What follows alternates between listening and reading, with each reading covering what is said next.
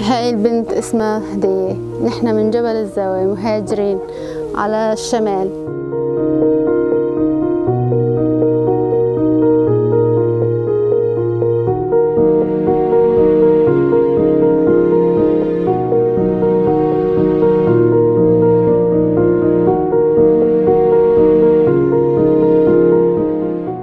والله بتمرض ويعني بتصير معها اختلاج.